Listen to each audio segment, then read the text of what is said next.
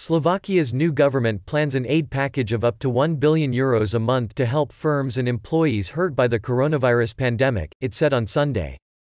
Prime Minister Igor Matovic's four-party center-right coalition took power on March 21 after opposition parties unseated the long-ruling Smer party in a February election. New Finance Minister Eduard Heger said the aid package, under which the state will pay 80% of wages for employees at firms forced to shut, would be the biggest in Slovak history. The state will also contribute help to self-employed people and employees in firms that suffer falling revenue, with payments linked to the size of the revenue drop.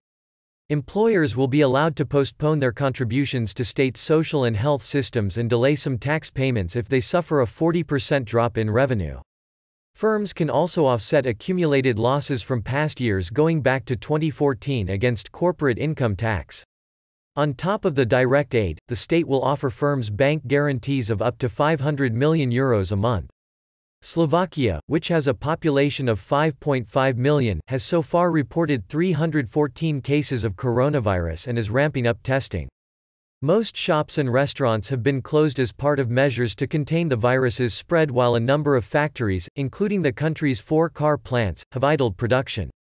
While Central Europe is seeing fewer cases of coronavirus than bigger Western neighbors like Germany or Italy, the outbreak is set to take a toll on economies that are geared largely towards the car industry and supply chains.